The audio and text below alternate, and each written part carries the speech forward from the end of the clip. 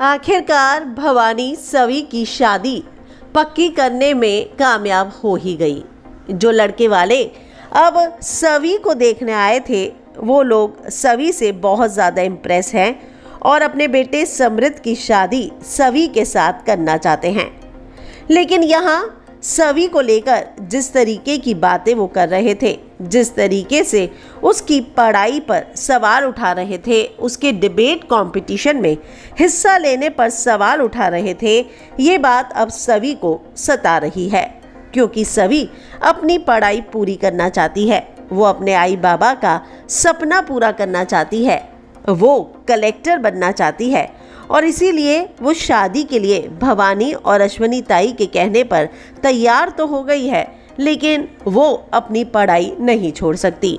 और इसीलिए जब लड़के वालों ने साफ़ साफ़ कहा कि उन्हें लड़की पसंद है तो सभी ने भी अपनी तीन शर्तें शादी से पहले लड़के वालों के सामने रख दी है। हालाँकि ये शर्तें सुनकर क्या शादी के लिए तैयार हो पाएँगे लड़के वाले? इसके लिए तो थोड़ा इंतज़ार करना होगा, लेकिन हम आपको बताते हैं कि सभी ने क्या क्या शर्तें जो हैं वो लड़के वालों के सामने रख दी हैं। तो पहली शर्त जो सभी ने रखी है, वो ये रखी है कि वो शादी के बाद अपनी पढ़ाई नहीं छोड़ेगी। दूसरी बड़ी शर्त जो उसने रखी है, वो ये रखी है कि वो शादी के बाद भी अपने परिवार का ध्यान रखेगी। क्योंकि उसके परिवार में उसके जितने भी माँ बाप तो हैं नहीं, लेकिन अश्वनी, ताई, भवानी और निनाद, ये तीनों ही बहुत बूढ़े हैं और उसका भाई वीनू यहाँ पर नहीं, बल्कि बाहर पड़ता है। और ऐसे में वो अगर इसी शहर में शादी कर रही है तो सिर्फ़ और सिर्फ़ इसलिए ताकि वो अपने परिवार के करीब रह सके।